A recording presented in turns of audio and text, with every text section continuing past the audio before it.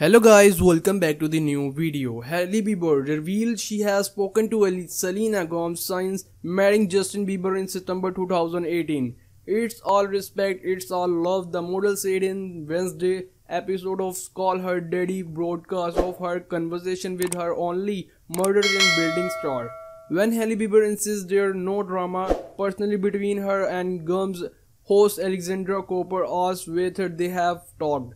The former dropped the mic co-star reply yes noting that Gomez she explained neither us anybody anything expect respect.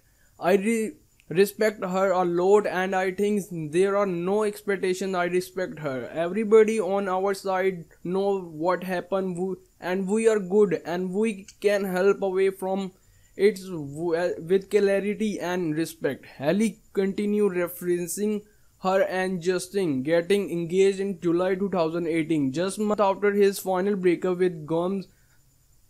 Justin dated the actors on all of her eight years and was romantically linked to Hailey, Sofia Richie, and more models during their separate. Hailey clarified in Wednesday broadcast episode that she never stole Justin from Gomez because that is not her character.